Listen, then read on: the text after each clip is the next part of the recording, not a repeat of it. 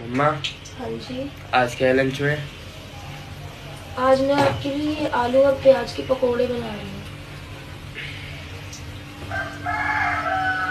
चटनी और सॉस वगैरह रख लेना ठीक है? ओके। नहीं। अरे एक और लंच बॉक्स ले ले यार छोटा लग रहा है। नहीं सही है। ले लेना दूसरा। नहीं ना मैं इतने खाऊँगा। ये लो। फटाफट से पियो। आज अच्छे से स्कूल में दौड़ लगानी है तुम दोनों को।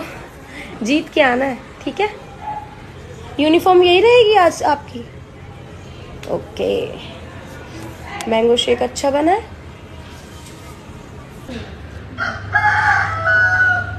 बाय परी दूध। बैठी बच्चे गए स्कूल और हस्बैंड गए अपनी शॉप पे और मैं जा रही हूँ जिम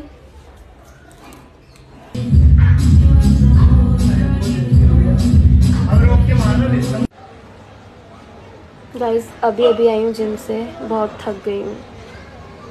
और अब मैं करूँगी ब्रेकफास्ट